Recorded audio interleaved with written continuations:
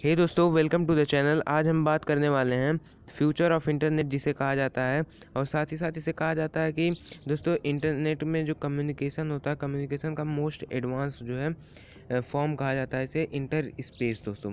Inter space किस तरीके से वर्क करता है और इसका क्या जो है फार्मूला है, उसे हम देखेंगे। तो दोस्तों इंटर स्पेस एक क्लाइंट या सर्वर बेस्ड होता है जो कि इंटरनेट के साथ चलता है दोस्तों।